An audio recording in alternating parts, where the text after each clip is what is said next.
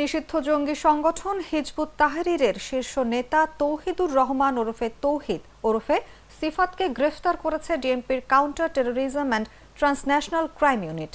CTTC জানায়, Hizb ut Tahrir সাধারণত উচ্চবিত্ত ও মেধাবীদের টার্গেট করে প্রচারণা চালিয়ে আসছিল।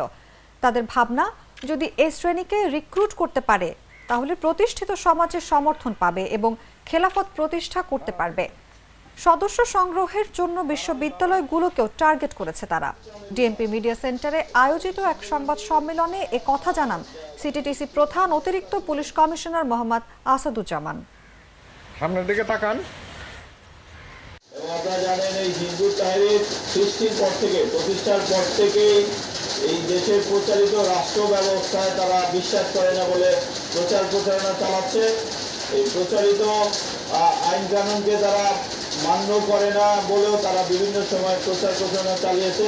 আমাদের কাছে একরকম দুঃসাধ্য ব্যাপার ছিল তাদের নেক্সট কাট আউট সিস্টেমে বা নেক্সট নেক্সট সেলের আমাদের তথ্য নেওয়া নেক্সট সেল সম্পর্কে তথ্য নেওয়া আমাদের জন্য আসলে একটি দুঃসাধ্য ব্যাপার ছিল।